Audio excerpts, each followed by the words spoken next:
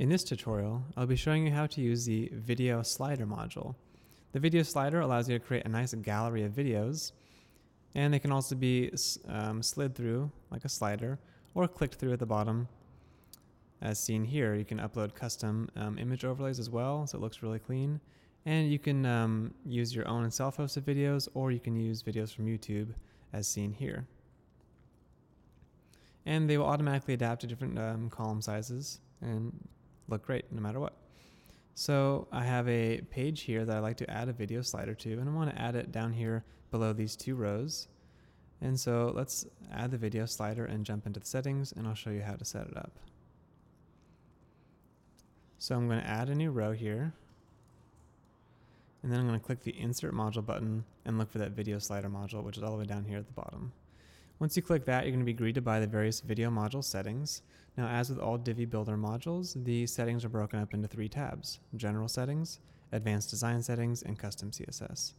As a general rule of thumb, everything you need to build a really great page using the Divi Builder can be found inside the General Settings. But if you want even more control over the appearance of the module, you can move over to the Advanced Design Settings and Custom CSS, which will have some additional um, customization options for the appearance of that module.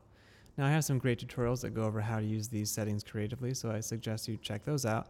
But in this tutorial, I'm just going to focus on the general settings. So let's head back to the general settings tab, and I'll go over how to create a video slider module. You'll see various basic settings here that you can adjust for the video slider as a whole, but before we can actually um, before we can actually use the video slider, we first have to add slides of videos. So we want to add our first video, and to do that, I'm going to click the Add New Video button here, and this will bring up um, various options for our video. Now, the admin label, this is just to, to keep track of the slide. So you want to maybe like name it something that you can remember. Um, this doesn't have anything to do with what appears in the front end of your site. It's purely for organizational purposes. So I might just call it slide one. And that's good enough for now. So each video slide uh, supports either self-hosted videos or um, videos hosted on third-party sites such as YouTube. So you can upload your own video or you can just link to a YouTube video and it'll automatically embed it. If you do host your own video, we suggest uploading both an MP4 and a WebM version.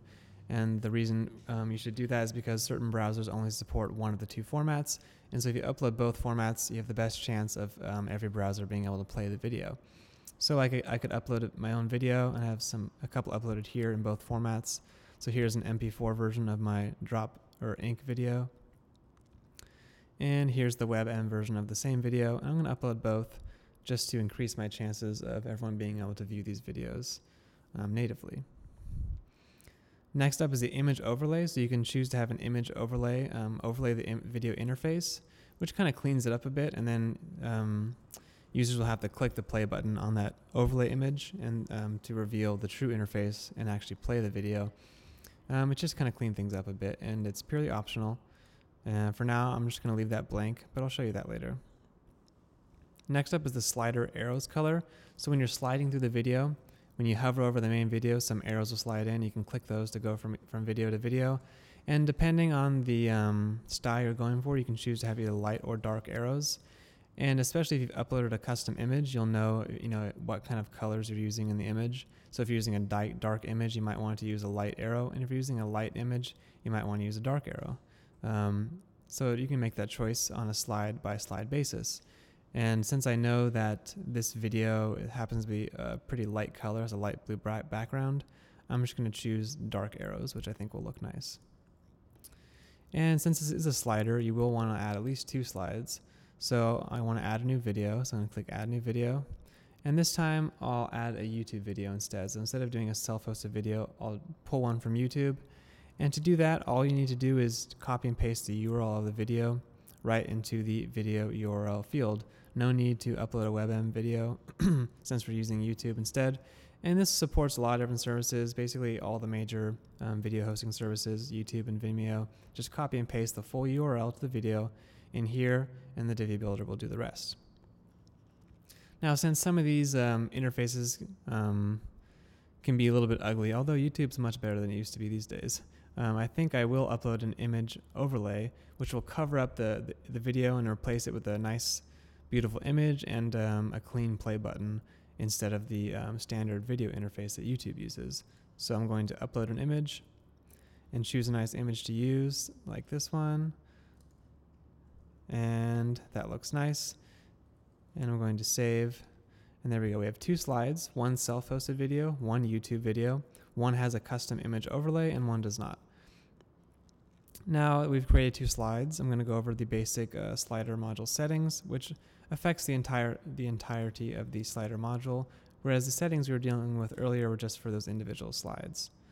So first up, you have the option if you have chosen an image overlay for the video, you can choose whether or not to display it on the main video. So typically there's one big video that that's kind of like the featured video you're, you're looking at, and be, then there'll be uh, several smaller thumbnails below it.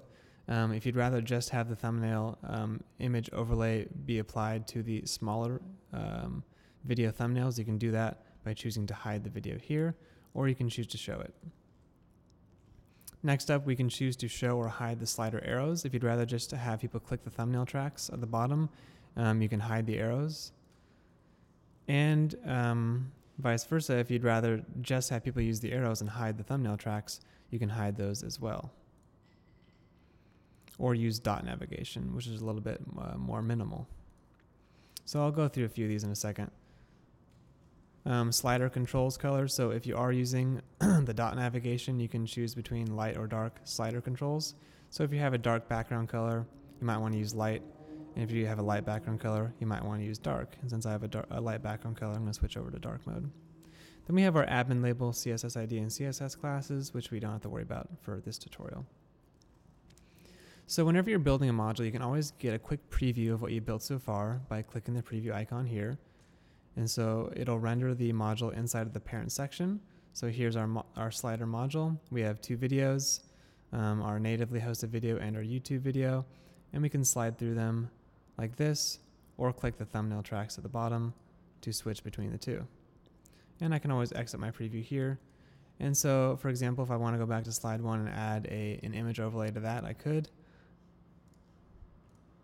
And then if I preview it, you'll see that the image overlay has been added, um, which looks a little nicer. And you can switch between the two. And like I said, you can also choose whether or not to have that image overlay appear on the main track. So if you want to hide that, then when we preview, the first video will be just ready to play. There won't be any overlay image there. So you can turn that on and off as you choose. So let's add a few more videos. I'm going to just duplicate this a couple times to fill out our slider. I'm going to use all YouTube videos and just switch out a few of these um, images.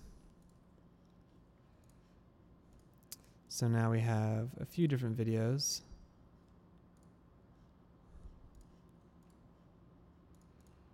And we can preview them here. so now we have five videos, a couple different thumbnail tracks.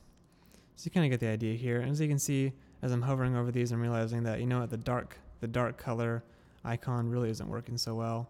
And so I think I'll probably go back here and change slider controls to light instead. And yeah, that's looking a lot better. And so we have four videos here, some nice thumbnail tracks, and you can play the ma main video up top or slide through the other videos. And in this case, they're all the same video, but you probably want to use different videos. Yep, so that's a basic overview of the um, video module settings. So I'm going to save this video slider and update it. We can take a look at the front page to see how it looks on the front end. So loading our page, scroll down, you can see the video slider I've added here. We have thumbnail tracks enabled, so we have you can click through the thumbnail tracks at the bottom and we also have the slide arrows enabled so you can slide through as well. But as I mentioned earlier, each of these can be, can be disabled if you'd like to just use one or the other. And that is a basic overview of the Divi Builder video slider.